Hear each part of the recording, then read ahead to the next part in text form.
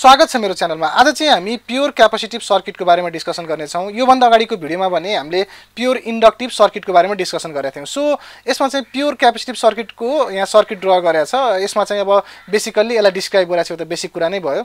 Consider the circuit circuit in figure in which the capacitor of capacitance यो चाहिँ capacitor C चाहिँ के भइरहेछ त? C farad is connected across an alternating voltage V भनेको छ सिम्पल छ। र एप्लाइड भोल्टेज भनेको के हुने भयो त? V equals to V m sine omega t हुने भयो। यसलाई हामीले इक्वेसन वान मान्यौँ। अब हामीले यसपछि चाहिँ यो चाहिँ हामीलाई अलरेडी गिभन रूपमा चाहिँ लियौँ हामीले यसलाई चाहिँ। सो यसबाट हामीले अब करेन्ट निकाल्छौँ। करेन्ट निकाल्नको लागि हामीलाई बेसिकल्ली के थाहा हुनुपर्छ भने क्यापेसिटरमा कति चाहिँ चार्ज स्टोर हुन्छ भन्ने कुरा चाहिँ directly proportional to potential difference so हामीले यो प्रोपोर्सनालिटी साइन हटायो भने चाहिँ यसमा प्रोपोर्सनालिटी कन्सटेन्ट आउँछ त्यो भनेको सिबी भयो चाहिँ क्यापेसिटेन्स भन्छौँ।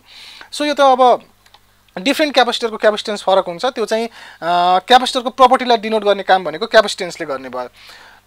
र अर्को कुरा भनेको चाहिँ मैले बेसिकली अब यसमा के गरिदिएँ भने Q into T divide by T गरेँ इक्वल्स टु सिबी गरेँ किन भन्दाखेरि मैले यसलाई करेन्टको टर्म्समा लानको लागि हो। हामी किनकि यहाँ करेन्ट निकाल्दैछौँ। सो क्यु बाई टी भनेको चाहिँ आई हुने भयो।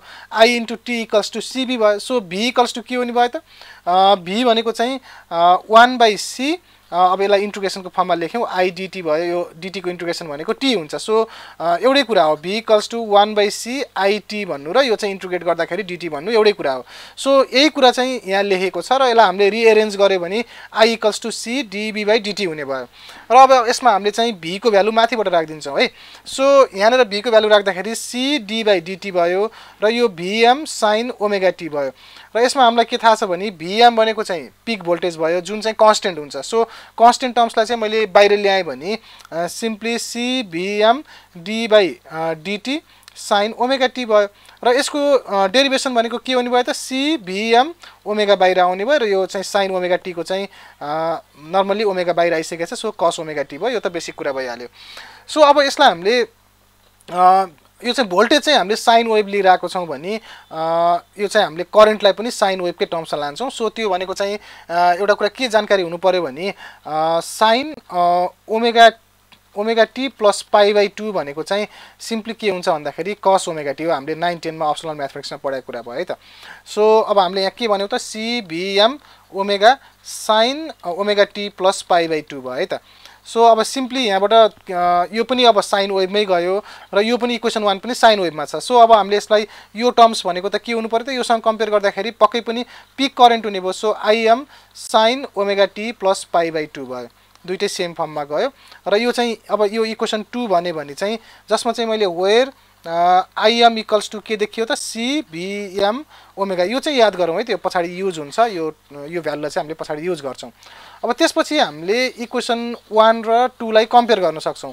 र इक्वेसन वान र टू दुइटै के देखिन्छ त? साइन वेभै देखिन्छ हो? So comparing one and two भन्न सक्छौँ। Comparing equation one and two दुइटालाई हामीले कम्पेयर गर्दाखेरि यहाँबाट क्लियर के छ भन्दाखेरि करेन्ट भनेको चाहिँ पाई बाई टूले चाहिँ लिड गरिरहेको छ। यो चाहिँ पाई बाई टूले ग्रेटर देखिन्छ। सो हामीले के भन्न सक्यौँ त इट इज क्लियर द्याट यही कुरालाई हामीले ल्याङ्ग्वेज फर्ममा लेख्दैछौँ।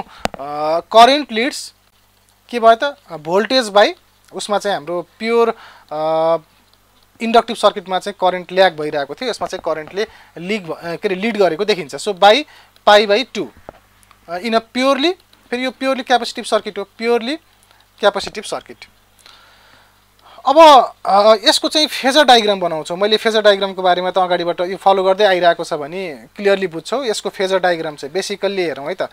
फेजर डायग्राम बनाउँदाखेरि मैले पहिल्यै भनेको थिएँ यसमा रिफरेन्स फेजर भनेको चाहिँ भोल्टेजलाई लियो भने चाहिँ भोल्टेजलाई हामीले रिफरेन्स फेजर लियौँ है त। सो करेन्ट के छ त? पाई बाई टूले लिड गरिरहेको छ भनेको पाई बाई टूले चाहिँ ग्रेटर हुनु पऱ्यो सो यही कुरा मैले अघि पहिला पनि भनिसकेको थिएँ यो बारम्बार भन्ने कुरा भयो। सो यो जिरो र थ्री सिक्सटी छ यो चाहिँ नाइन्टी छ। भने अब यसमा हेर्ने भने यो ए भेक्टर मानौँ यो चाहिँ बी भेक्टर मान्यो भने चाहिँ यो यो जिरो छ जिरोबाट नाइन्टी गइरहेको छ। सो यो चाहिँ ए भनेको यसमा हेर्ने भने चाहिँ नाइन्टीले ग्रेटर छ अथवा बी चाहिँ नाइन्टीले लेस छ। सो अब हाम्रो चाहिँ यहाँ करेन्ट लिड गरिरहेको छ भनेपछि त करेन्ट पाई बाई टूले ग्रेटर छ। सो मैले के गर्नु पऱ्यो त यो माथिपट्टि बनाउनु पऱ्यो यो चाहिँ आई भयो नाइन्टीले लिड गरेको देखियो। अब त्यसै गरी अब हामीले यसको वेभ फर्म पनि बनाउन सक्छौँ है। सो अब वेभ फर्ममा जाउँ। वेभ फर्मको लागि चाहिँ सिम्पली हामीलाई एउटा कुरा के थाहा पाउनु पऱ्यो भन्दाखेरि V equals to V m sine omega त्यही हो लिड र ल्याएकै कुरा हो। ओमेगा टी करेन्टले चाहिँ के गरिरहेको छ त? लिड गरिरहेको छ। त्यो भनेको sine omega T plus pi by two छ है? अब यसलाई हामीले वेभ फर्ममा चाहिँ रिप्रेजेन्ट गर्छौँ। वेभ फर्ममा रिप्रेजेन्ट गर्नको लागि सबभन्दा पहिला मैले यसमा चाहिँ के गरेँ भन्दाखेरि भोल्टेज कर्भ बनाएँ है त। भोल्टेज कर्भ बनाएँ। अब यो चाहिँ भोल्टेज कर्भ भयो। यसलाई मैले भी भने है त। अब यसपछि हामीले करेन्ट कर्भ बनाउँछौँ। करेन्ट चाहिँ के देखिन्छ भने पाई बाई टूले लिड गरेको देखिन्छ। भनेको अगाडिबाट स्टार्ट हुनु पऱ्यो है त। सो यो भनेको जिरो भयो यो भनेको के भयो त? पाई बाई टू भयो यो भनेको टु पाई छ। सो अब मानौँ यो चाहिँ माइनस पाई बाई टू छ। यतापट्टि चाहिँ के हुने भयो त? माइनस टू पाई भने यो नेगेटिभ साइडतिर छ कार्टिसियन कोर्डिनेट सिस्टम अनुसार हेऱ्यो भने चाहिँ यतापट्टि नेगेटिभ हुन्छ डाउनवर्ड पनि नेगेटिभ हुन्छ। माथि र यतापट्टि चाहिँ पोजिटिभ हुन्छ है? सो अब पाई बाई टूले लिड गरिरहेको छ भन्नुको अर्थ पाई बाई टूभन्दा अगाडिबाट स्टार्ट हुनु पऱ्यो करेन्ट चाहिँ। भनेको करेन्ट चाहिँ हामीले के गर्छौँ त? यहाँबाट स्टार्ट गर्छौँ। सो यसको पिक भनेको चाहिँ यतातिर पुग्ने भयो र यहाँ फेरि के हुने भयो त? लो हुने भयो करेन्टको लागि चाहिँ। सो यसरी गऱ्यो भने चाहिँ यसरी डाउन हुने भयो र यही फर्ममा जाने भयो। अब यहाँ पनि पाई बाई टूकै ल्याग हुनु पऱ्यो पाई बाई टूको लिड हुनु पऱ्यो यहाँ यहाँबाट हेऱ्यो भने पनि पाई बाई टूले नै ग्रेटर देखिन्छ। अब यसमा हामीले चाहिँ पावर कर्भ बनाउँछौँ है त। पावर कर्भ बनाउनुको लागि यो चाहिँ के भयो? करेन्ट कर्भ भयो है त। अब पावर कर्भ भनेको चाहिँ बेसिकल्ली के भने यो यतापट्टि मैले यो पनि थपिहालेँ। यो भनेको ओमेगा टी भयो। अब पावर कर्भ भनेको पी इक्वल्स टु के हुन्छ? आइभी हुन्छ। यो ठ्याक्कै हामीले अगाडि गरेको जस्तै हो। प्योर रेसिस्टिभ सर्किटमा प्योर इन्डक्टिभ सर्किटमा पनि त्यही फर्ममा गरिरहेको थियौँ। त्यो हेर्दै आइरहेको छ भने त यो मैले नभने पनि तिमीहरूले बनाउन सक्छौ है त। सो अब यहाँबाट सुरु गरौँ है त। यहाँबाट पाइ बाई टूसम्म हेर्ने हो भने करेन्ट र भोल्टेज चाहिँ दुइटै पोजिटिभ छ। सो दुइटै पोजिटिभ भएको कारणले गर्दाखेरि पोजिटिभ पोजिटिभ मल्टिप्लाई हुँदाखेरि पक्कै पनि ग्रेटर भ्यालु आउने भयो। सो पावर कर भनेको के हुने भयो? पोजिटिभै हुने भयो। र अब पाई बाई टूदेखि टू पाईसम्म हेर्ने हो भने भोल्टेज भनेको चाहिँ पोजिटिभतिर छ करेन्ट भनेको के छ त? नेगेटिभतिर छ। यो मैले यहाँ भी लेखेँ यो चाहिँ आई हुन्छ है त। यो करेन्ट यहाँनिर यो करेन्ट कर्भ भयो। सो करेन्ट भनेको के छ त? नेगेटिभतिर छ। सो मैले अब यहाँ के गर्नु पऱ्यो भने सरी करेन्ट नेगेटिभतिर छ भोल्टेज चाहिँ पोजिटिभतिर छ। So P equals to IV नै हो। सो माइनस आइबी भनेपछि पावर चाहिँ के हुँदो रहेछ? नेगेटिभ हुँदो रहेछ। सो मैले यो चाहिँ के गरेँ त? नेगेटिभतिर बनाएँ। त्यसै गरी अब यतापट्टि हेर्ने भने चाहिँ दुइटै नेगेटिभ छ। यो भोल्टेज कर्भ पनि नेगेटिभ छ पावर कर्भ पनि नेगेटिभ छ। त्यो भनेको माइनस आई माइनस बी भयो नि त। सो यो भनेको अल्टिमेटली के आउने भयो त? पोजिटिभै आउने भयो सो कर्भ के हुने भयो पोजिटिभ हुने भयो। सो यसरी नै बनाउँछौँ हामीले यसको चाहिँ। यो भनेको चाहिँ पावर कर्भ भयो। र हामीले वाइ एक्सिसमा प्लट गरेको भनेको चाहिँ सिम्पली के गरेका छौँ त? यो भोल्टेज प्लट गरेका छौँ त्यसपछि चाहिँ करेन्ट प्लट गरेका छौँ र अर्को चाहिँ के गरेका छौँ त? पावर पनि प्लट गरेका छौँ। सो यो चाहिँ हामीले यो गऱ्यौँ है त? सो यो चाहिँ अब भोल्टेज पावर र करेन्टको चाहिँ वेभ फर्म भयो। सो यो फिगरको नेमिङ गर्ने भने चाहिँ फिगर भनेको चाहिँ wave form of wave form of V I P भनौँ न भोल्टेज कर्भ एन्ड पा भोल्टेज कर्भ एन्ड पा करेन्ट कर्भ एन्ड के भयो त पावर कर्भ भन्न खोजे यो चाहिँ है त? अब यसपछि हामीले इम्पिडेन्स निकाल्छौँ। अब इम्पिडेन्सको लागि चाहिँ सिम्पली एउटा कुरा के बुझ्नु पऱ्यो भने हामीले प्योर क्यापासिटिभ सर्किट लिइरहेको छौँ। क्यापासिटिभ सर्किट भनिसकेपछि इम्पिडेन्स भनेको in purely capacitive circuit capacitive reactance निकाल्नलाई help भइरहेको छ। सो यो त मैले धेरै यहाँनिर डिस्क्राइब गरिनँ अगाडिको भिडियोमा अझ बढी डिटेलमा गरिरहेको छु। सो त्यो बुझिया छ भने यो त बेसिकली बुझिन्छ नै। So X C equals to V by I भयो। अब भी भनेको चाहिँ अब यो भिएम बाई आइएम हुने भयो र इक्वल्स टु पिक करेन्टले दुइटै। सो भिएम बाई अब यहाँ मैले अघि याद गर्नुपर्छ भनेको थिएँ। सो यो के थियो भन्दाखेरि आई यहाँनिर चाहिँ यस्तो आएको थियो omega C V m sine omega T plus pi by two आएको थियो। र यसलाई चाहिँ हामीले के बनाएको थियौँ त यो भनेको पिक करेन्ट बनाएको थियौँ। सो यो भनेको चाहिँ आइएम भनेपछि अब आइएम इक्वल्स टू यहाँबाट चाहिँ हामीले के भन्न सक्यौँ त ओमेगा सी भिएम भन्न पाउँछौँ भनेर मैले भनेको थिएँ। सो आइएम भनेको ओमेगा सी भिएम भयो यो र यो काटियो र finally one by omega C भयो। र यो भनेको चाहिँ जुन चाहिँ छ where one by omega C भनेको इज क्यापासिटिभ रियाक्टेन्स है त? क्यापासिटिभ रियाक्टेन्स भयो जसलाई हामीले केले डिनोट गर्छौँ त? आइन डिनोटेड बाई याक्सी भयो। आइन denoted by X C so therefore हामीले के भन्न पायौँ त? X C equals to one by omega C omega भनेको टु पाई एफ हो। So equals to one by two pi F C भयो। यो चाहिँ एकदमै इम्पोर्टेन्ट छ। न्युमेरिकलको लागि चाहिँ यसलाई चाहिँ मेमोराइज गरौँ है त।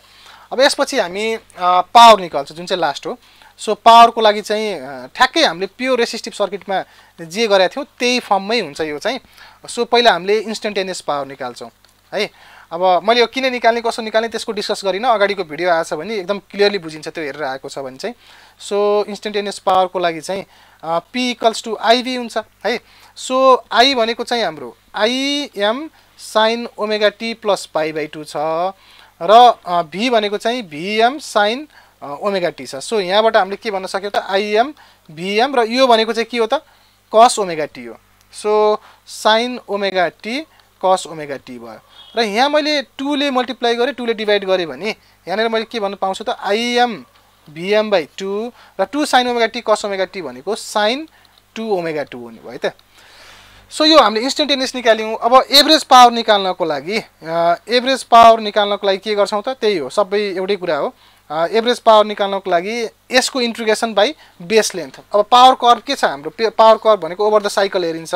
सो बेस लेन्थ भनेको जिरो टु टु पाई हुने भयो। सो सिम्पली यहाँनिर यो गर्दाखेरि चाहिँ वान बाई टु पाई हुने भयो र यहाँनिर जिरो टु टु पाई त्यसपछि भिएम आइएम बाई टु यसमा चाहिँ साइन टु ओमेगा टी छ।